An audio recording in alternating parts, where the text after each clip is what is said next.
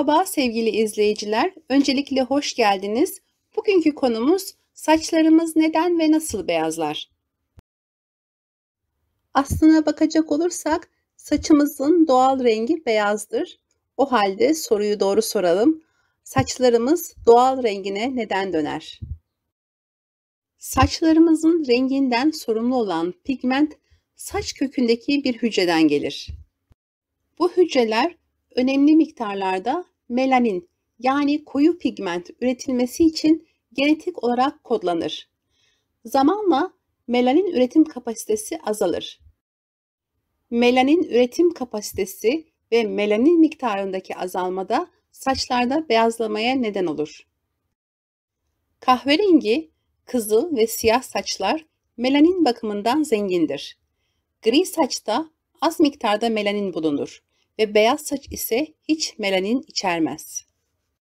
Saçın erken beyazlamasının sebebi genetik de olabilir dediğinizi duyar gibiyim. Elbette ki genetik olabilir. Evet, kitaplarda ve uygulamada genetiğin insan sağlığında çok önemli bir etkisi varsa da ben hayatımda gözlemlediğim bir olay ailesindeki herkesin şeker hastası olup da bir kişinin dengeli ve düzenli beslenerek şeker hastalığına yakalanmadığına şahit olmuşluğumdur. Demek ki bir insan genetiğinde olsa dahi beslenmesine ve yaşantısına dikkat ederek mankus kaderine bir nebze dahi olsa karşı çıkabilmektedir. Çalışmalar göstermiştir ki bazı epigenetik reaksiyonlar nesillere aktarıldıkları gibi aynı zamanda çoğalmışlardır da. İyi bir epigenetik bakım ile kendi genlerimizin davranışını olumlu yönde değiştirmek, gelecek nesillere sağlıklı genleri miras bırakmak elimizdedir. Yaptığımız yaşamsal tercihler genetik kodlamamızı da değiştirir ve elbette gelecek nesillere de aynı genetik bilgiyi aktarır. Yani anlayacağınız evlatlarımıza ve onların da evlatlarına sağlıklı bir genetik kodlama bırakmak bizim yaşam tercihlerimizle mümkündür. Saçların beyazlaması yaşlılıkla da ilişkilendirilir. İnsan vücudu zamanla eskimeye yenik düşer ve saçlar beyazlar. Saçlar bir kere beyazladığı zaman artık geri dönüşü yoktur inancı, doğal holistik tedavi veren pek çok doktor tarafından yıkıldı. Bunun ispatı için kendimden de örnek verebilirim. Geçen sene kovanlarımla ilgilenirken birkaç arı sokmasından sonra beyaz saçlarımın kökten siyah olarak geldiğini gözlemledim. Demek ki beyaz saçlar ömür boyu kaybedilmiş renksiz saçlar değildir. Geri kazanma ihtimalimiz vardır. Değerli izleyiciler, saçın beyazlamasındaki en önemli etkenlerden bir tanesi stres. Bildiğiniz gibi stresli anlarımızda vücudumuzdaki salgılanan hormonlarda değişiklikler oluyor.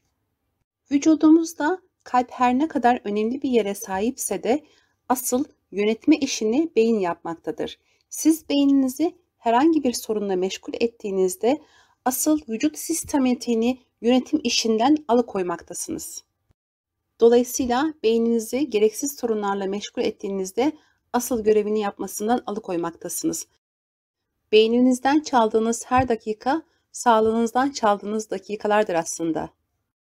Melanin üretimiyle en yakından ilişkili olan B12 vitaminidir. B12 vitamin eksikliği genellikle et, tavuk gibi hayvansal gıda yemeyenlerde ortaya çıkar. Erken saç beyazlaması ile ilgili klinik gözlemlerde ve saç analizlerinde en sık karşılaşılan durum manganez, bakır eksikliği ile birlikte başta C vitamini ve B kompleks vitaminler olmakla birlikte E vitamini eksikliği de yine önemli etkendir.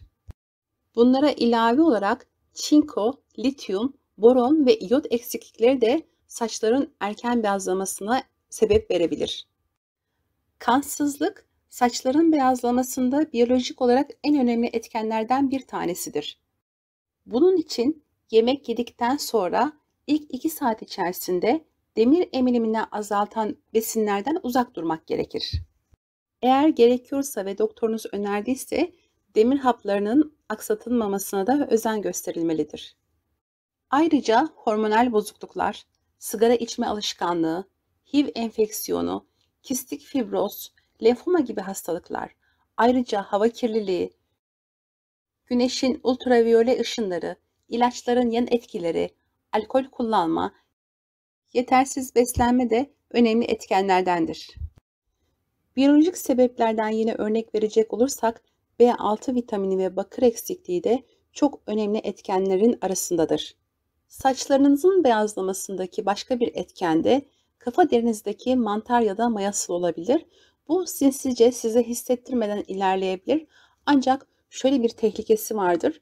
Mantar melanin yiyerek çoğalır ve melanin düşüklüğü de saçlarınızın beyazlamasına sebebiyet verir. Size hiç hissettirmeden saçlarınızı kısa bir süre içerisinde bembeyaz yapabilir. Saçlarınızın beyazlamasını engellemek, durdurmak ya da beyaz saçlarınızın tekrardan siyah çıkmasını istiyorsanız eğer bu saydığım eksiklikleri gidermeniz ve vücudunuza gerekli olan vitaminleri tam olarak vermelisiniz. Uzmanların çoğu saç beyazlamasını genellikle bakır takviyesiyle gidermeye çalışmaktadır. Bakır en çok kakaoda olmakla birlikte sarımsak, maydanoz, ıspanak, kara lahana, pazı, kuşkonmaz, pırasa, rezene, patlıcan, karabiber, böbrek, ciğer, ay çekirdeği, bal kabağı, mercimek, lahana, fesleğen, kivi, brokoli, ceviz, deniz ürünleri, istiridye, avokado, keçi peyniri, kuru baklagiller, kuru kayısı, tohumları sert kabuklu meyvelerde bulunur.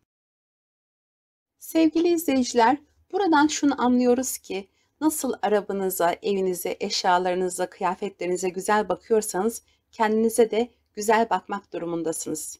Elbette ki hepimizin inancımıza göre eceli belli. Ancak kaliteli yaşam sürmekte kendi ellerimizde. Dilim döndüğünce sizlere saç beyazlaması ile ilgili bilgiler vermek istedim. Benim anlattıklarıma ilave edecekleriniz varsa yorumlara yazmanızı rica ederim. Videomu beğendiyseniz beğen tuşuna tıklamanızı, bildirimleri açmanızı ve hala abone olmadıysanız abone olmanızı rica ediyorum. Sizlere sağlıklı, kaliteli bir yaşam dileklerimle Allah'a emanet olun.